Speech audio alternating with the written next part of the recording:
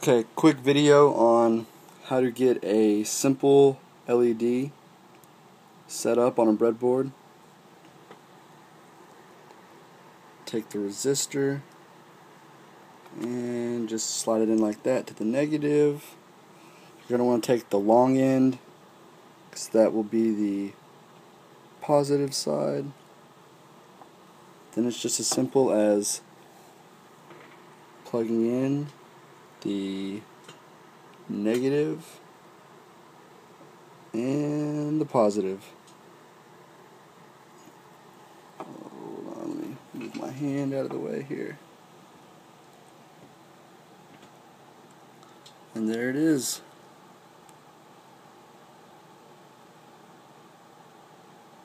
Real simple, but kind of cool.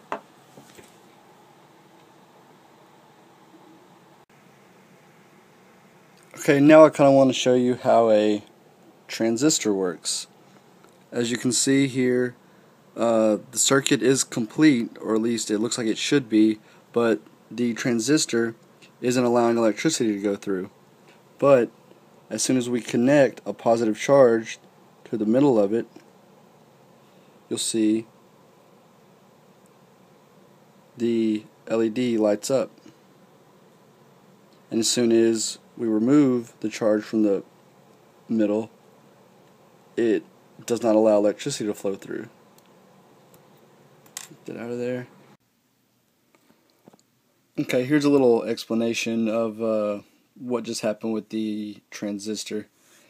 As you can see, the uh, positive end comes out through here. The electricity flows through here, but because we're not getting a charge through the center, it will not allow it to flow through and light up our LED. But when we connect this, it gets a positive charge which allows the electricity to flow through, complete the circuit out through the ground, and then we have a closed circuit and the LED lights up. And that's how simple transistor transistors are.